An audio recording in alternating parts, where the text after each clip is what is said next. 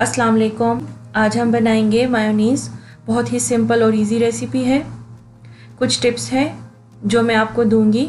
तो अगर आप उसको फॉलो करेंगी तो आपकी मायोनीज़ बहुत ही झटपट बन जाएगी और बिल्कुल वैसे ही बनेगी, जैसे कि बाज़ार बोट थिक वाली होती है। इसके लिए हमें अंडे चाहिए। अंडे रूम टेम्परेचर पे होने चाहिए। दो अदद अंडे मैं यहाँ पे ले रही हूँ। इसे हम एक ब्लेंडर जग में डालेंगे और अंडे मैं फिर से बता दूँ रूम टेम्परेचर पे होने चाहिए। सॉल्ट हम इसमें डालेंगे, यानी कि नमक वन टीस्पून शुगर हम इसमें ऐड करेंगे, यानी कि चीनी वन टीस्पून काली मिर्च का पाउडर हम इसमें ऐड करेंगे चुटकी भर। अगर आप ज़्यादा डालना चाहती हैं तो आप हाफ़ टी स्पून भी ऐड कर सकती हैं।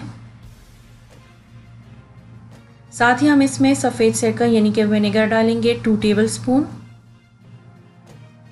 और ऑयल जो हम इसमें यूज़ करेंगे तो ऑयल हम इसमें डालेंगे तकरीबन वन कप और साथ ही one by fourth cup extra oil के लिए सबसे पहले मैं आपको ये बात बताती चलूँ कि थोड़ा सा ऑयल हम इसमें डालेंगे और ऑयल को ठंडा होना चाहिए यानी कि जब आप इसे यूज़ करें तो आप इसे पहले आ, फ्रिज में रखकर थोड़ा सा ठंडा कर लें। और फिर आप ये देख सकती हैं कि बिल्कुल ऐसे ही थोड़ा सा पहले हमने डाल लिया था और थोड़ा थोड़ा करके बिल्कुल बारीक तार की तरह, स्ट्रीम की तरह हम इस, ऐसे करके इसमें ऐड करेंगे और ब्लेंड करते जाएँगे।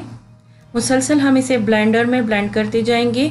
ऊपर वाला जो इसका ढक्कन है, छोटा वाला, वो हम खोल लेंगे और इस तरह करके हम बारीक स्ट्रीम में डालते जाएँगे। एकदम से नहीं डालना, अगर आप एकदम से डालेंगे तो ये ठीक नहीं बनेगा। बारीक स्ट्रीम में डालना है और ठंडा करके डालना है। ये हमने अच्छे से ब्लेंड कर लिया है, तकरीबन पाँच से छः मिनट। और ये आप देख सकती हैं कि हमारी मेयोनीज़ तैयार है। ये आप देख सकती हैं कि कितनी थिक और बहुत ही ज़बरदस्त हमारी मेयोनीज़ तैयार है। याद रखें कि ऑयल हमारा ठंडा होना चाहिए और अंडे रूम टेम्परेचर पे होने चाहिए। ऑयल को आपने बहुत ही बारीक स्ट्रीम में इसमें ऐड कर लेना है।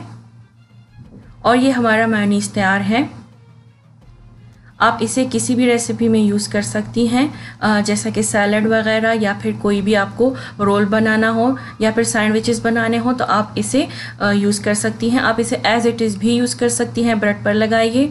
बच्चों को दीजिए। बहुत ही हेल्दी और घर पर झटपट बनने वाले मेयोनीज़ है।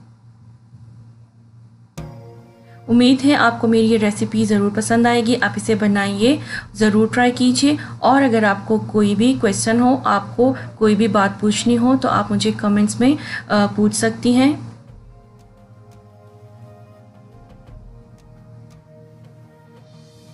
ये हमारा मेयोनीज़ तैयार है। आप इसे फ्रिज में रख सकती हैं। फ्रिज में आप इसे तकरीबन एक हफ़्ते तक रख सकती हैं।